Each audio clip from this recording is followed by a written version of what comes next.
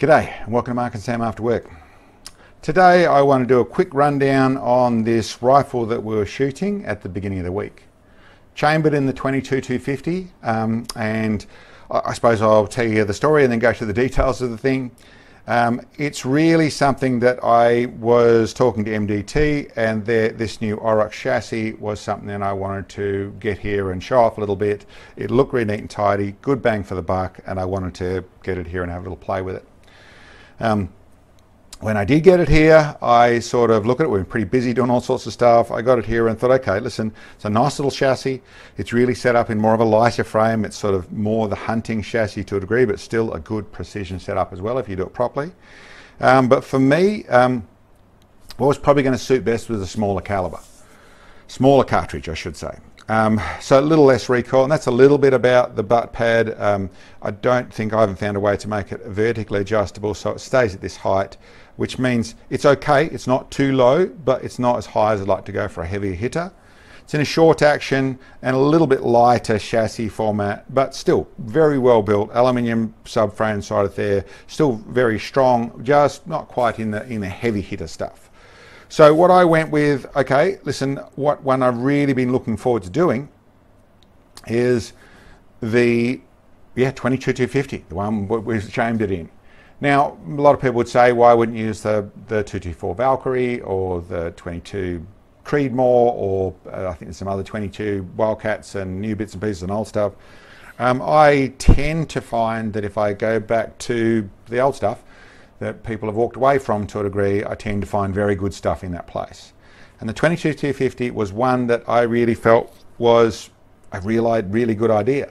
A lot of people love them, but mostly they're varminter and short range hunting, well, you know, moderate range hunting sort of cartridge. That's largely because they're set up with a 1 in 14 twist, an old nice wood stock.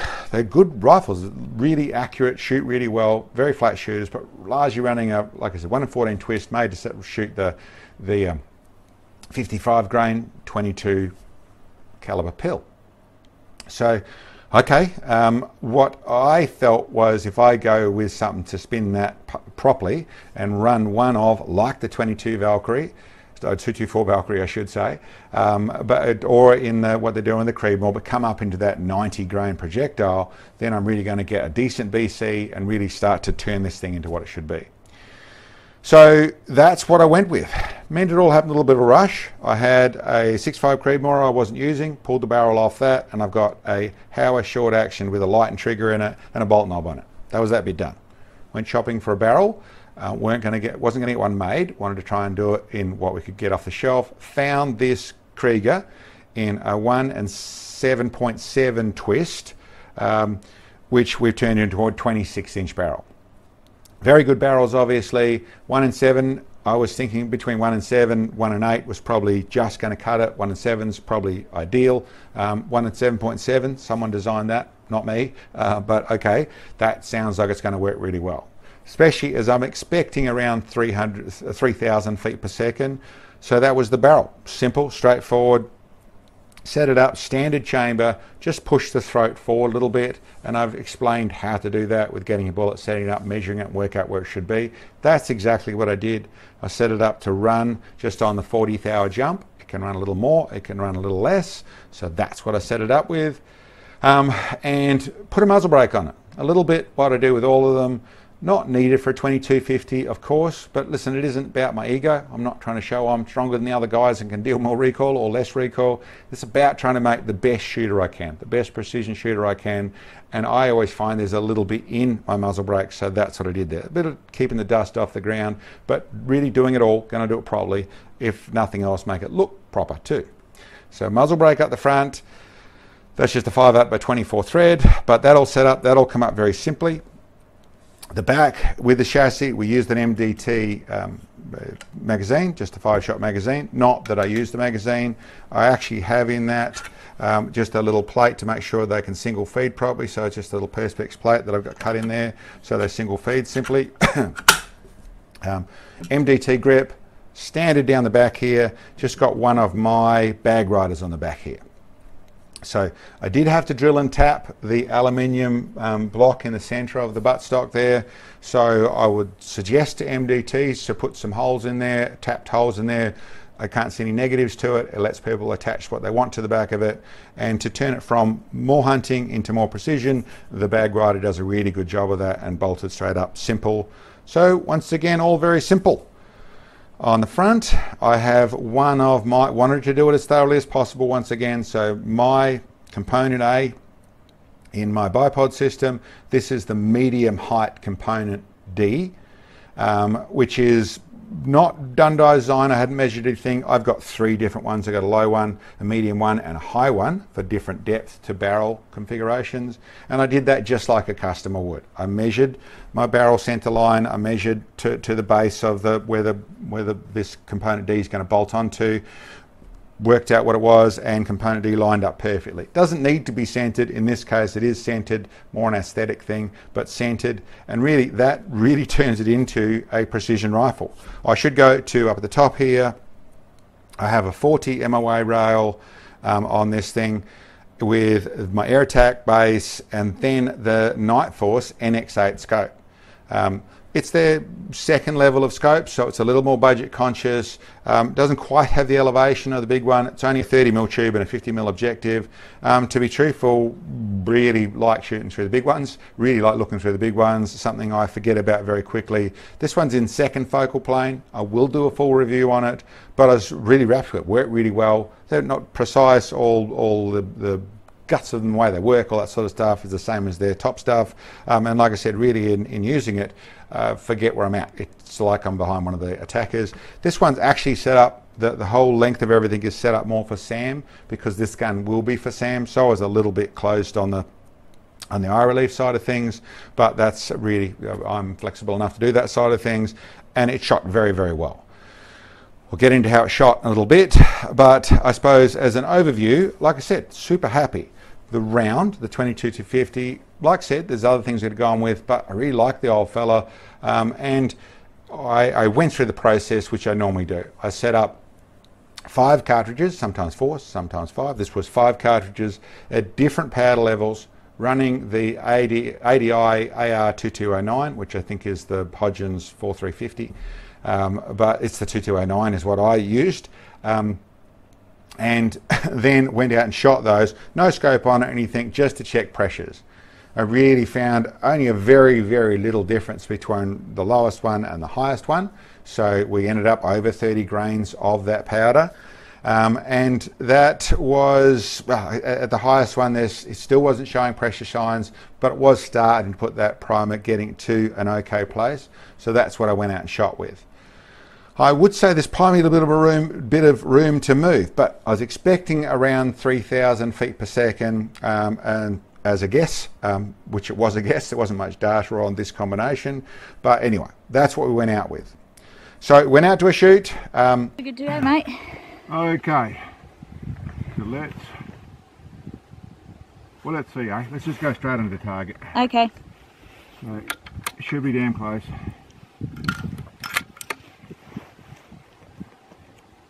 Ready. You ready? Yep.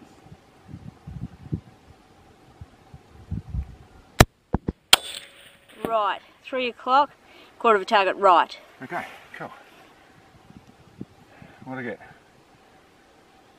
Just uh, 3,095. Yeah, okay. And it was right, so really probably 2 MOA. So that was a good call. 12 MOA it's actually 11 on what I got here. 11 okay. my elevation. Right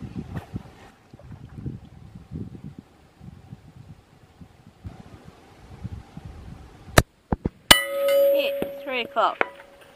Edge of plate. Edge of plate. Yep. Okay. On there. Okay, let's go one more. More wind than there seems to be. Yeah, okay.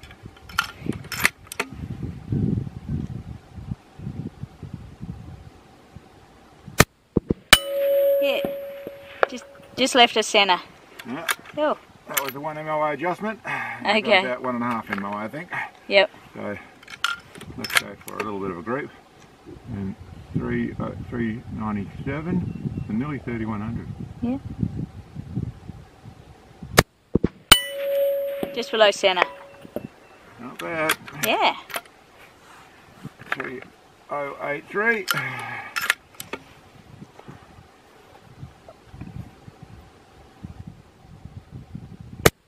There you go. Just one. left of centre. Yep. We'll do five shots, eh? Radio. On plate. First one missed.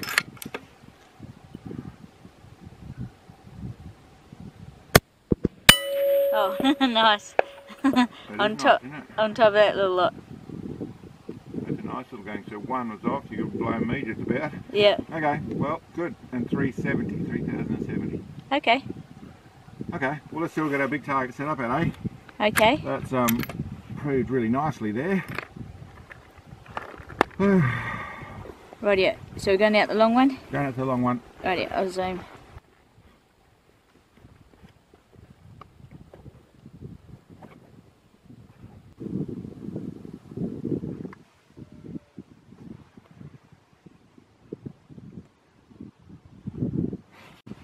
Eleven ninety four. Radio. Getting on.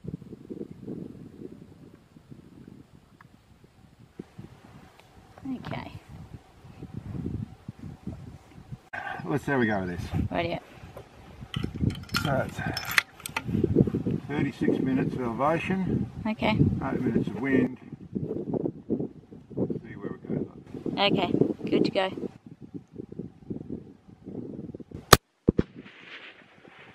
Hit. Nice. On plate. It's a nice big hunk. It's for a little bullet. Pull Yeah. miles off paint off that soft target. It did, didn't it? Okay. Yeah.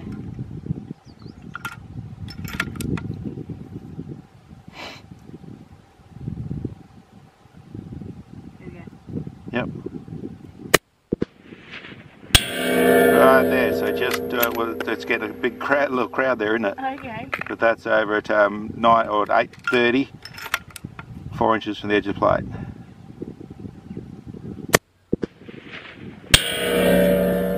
Uh, I'd say the same spot. I really couldn't see it change. Okay. Oh no, I've got dirt in it. Rightio. This was the last one in that row. Yeah.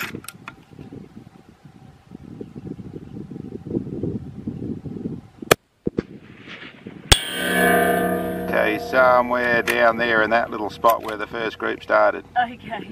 I'll stop then, okay? Yeah, okay, awesome. Well, it's all in the same area. Cool.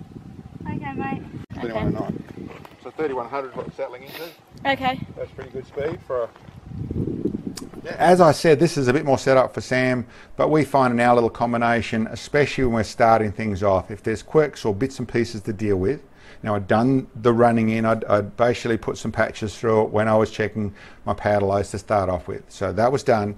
But still, when you go out, you don't know what you're going to run into on target. So we tend to find it's better if I do that bit, I do the exploratory bit, get it settled, and then get Sam onto the rifle. So that's exactly what we did. You saw exactly that process. I went through at 600 yards, then went out to the 1200 yards or 1194, got on there very simply, as you saw, and really stop because, like I said, set up for Sam, and that's what I really wanted to put her by this one and let it perform for her. So you saw what it shot like. It is a very, very easy cartridge to use in the way of recoil. It is very nice and the type of one that Sam really does like to and enjoys to shoot. So it shot really well, as you saw, hitting that plate. That was just 3 mil mild steel out there, so it was one of our ELR targets.